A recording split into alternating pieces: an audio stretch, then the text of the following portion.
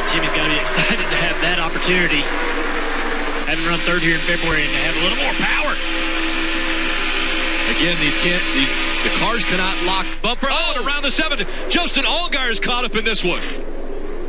Big crash. I just blew, blew a left rear out. I don't know how, but I blew a left rear. Alex Labbé also in the 36. We saw him with damage. There he is. The 99 Joey Gase behind the wheel this week. So Justin Allgaier, after winning last week at Dover, locking himself into the playoffs, and then the 68, Brandon Brown. We talked about the good story there. Jerry Brown obviously didn't want to see damage to his car, but there is. But Allgaier winning last week locks himself into the playoffs. Alex Labbé out of his car.